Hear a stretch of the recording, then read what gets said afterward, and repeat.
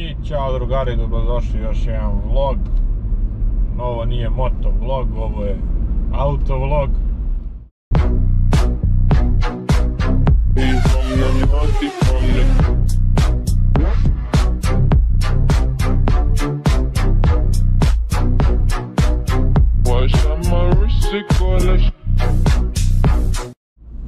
Danas u vlogu pričamo o tome zašto sam uzeo BMW. Zašto BMW X3 i eto šta sam ja gledao kod tog auta kad sam, kad sam htio da uzmem sam taj model i zašto mi se on toliko svideo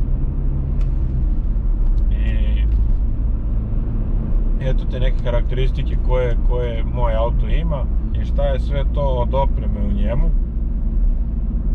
Naravno ovaj, mogao sam da uzmem mnogo noviji automobil, to jest mnogo mlađi automobil, htio sam ovo, ovo mi je neka životna želja i neki moj san šta sam ja htio da uzmem i te neke moje želje, eto, jednu po jednu ispunjavam pa, pa ćemo da vidimo koliko će to da me košta dakle, kao što rekao, BMW X3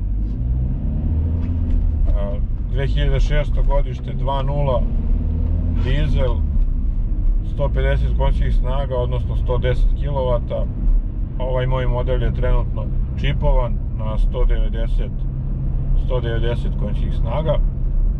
400 Nm ja mislim da ima nisam tačno siguran. I posle čipa mnogo, mnogo bolje vuče auto i to.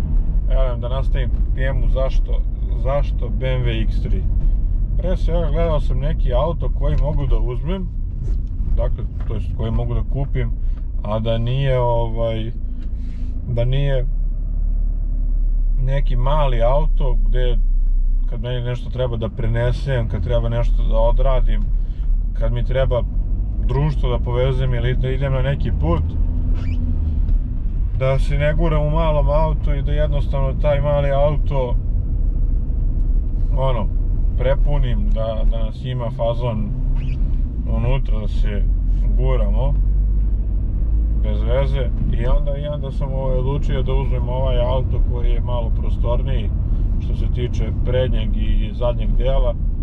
Zadnja klupa je zadovoljavajuća. Recimo nije baš toliko velika kolika bi trebala da bude ali zadovoljavajuća. Tako da komodno može se uđe unutra naravno ne smeta nikad ništa. Jednostavno odličan auto za put za, za taj neki duži put komforan je, dakle što se tiče ovaj što se tiče udobnosti, malo je grublji, zato što je kao, eto neki nije SUV, dakle odnosno, u stvari jeste SUV SUV urban vehicle to je sport urban vehicle smatra se kao da je neki džip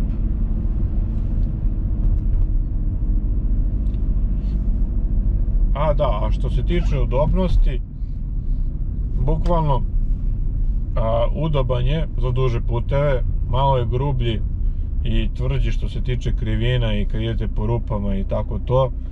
A, I nekako kao da je imate nekad osjećaj kao, kao da je sportska vožnja tu jednostavno to je BMW i ima grublje grublje amortizere i sve tako da jedino to je eto neka mana, možda je moglo da bude malo mekši, malčice mekši gde bi bio udobniji to, ali opet ne žalim se na tu neku udobnost, meni je udobno ovako i ovako mi odgovara, a sad šta sam ja to još gledao? Gledao sam da kad uzmem auto da ne bude taj neki 1.6 1.4, 1.8 TFSI i tako ti neki motori nego sam baš gledao da bude 2.0 i da ima 150 konjskih snaga pa naviše dakle gledao sam da uzmem jači auto koji može da izdrži sve što, što meni treba i mislim naravno izdržao bi taj neki slabiji auto ali jednostavno ovako je meni bilo lakše. Pun paket opreme ima, ima tipke na volanu, ima tu neku kao malu multimedijicu, kao navigaciju i to. Doduše ja sam ugradio, vidjeli ste u jednom od klipova gdje sam ugradio multimediju od ne znam 500 i nešto evra sa zadnjom kamericom gdje je to mnogo dobra stvar i mnogo pomaže. On ima parking senzor i napred i nazad, ima grejače sjedišta, kožna sjedišta, ima panoramu, ima, ovo smo skoro, skoro uradili, ova led svjetla, dakle sija kao da je apoteka, kao da si kod zubara. E, tako sijaju ova led svjetla, ugrađeno su i na tablici pozadi led svetlo možda neki projekat u narednom periodu da se još sredi BMW da izgleda još još bolje, još lepše. Tako da u nekom narednom periodu možda i to bude bilo. Ali evo sve što sam spomenuo i dakle izgled s polja. Veoma bitna stvar.